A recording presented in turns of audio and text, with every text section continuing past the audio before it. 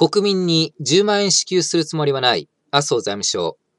本日、麻生太郎財務大臣が記者会見にて、10万円の特別定額給付金の再支給について、国民に一律10万円の支給をするつもりはないと否定いたしました。また、生活が困窮した世帯に限定して給付する案についても、考えにくいと否定的な発言をいたしました。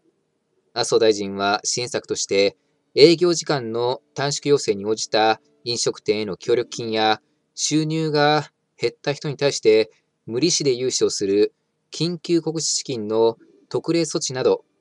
的を絞った支援策で対応していくと表明しておられましたが、この緊急国資金、最大で20万円が借りられ、条件を満たせば返す必要がないお金でございますけども、私は最低限、緊急事態宣言が出ている地域に対しては、定額給付金の再支給など、国民に対して権利を制限している対価として何らかの保障を行うべきだと考えております。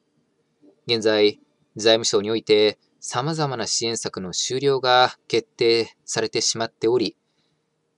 政府側が支援策の延長に向け対応を続け、本日、雇用調整助成金の特例措置の延長が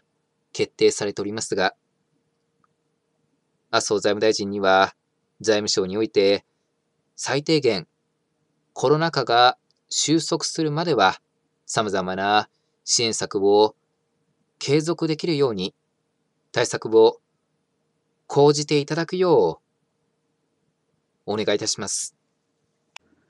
以上になります。ご清聴いただき、ありがとうございました。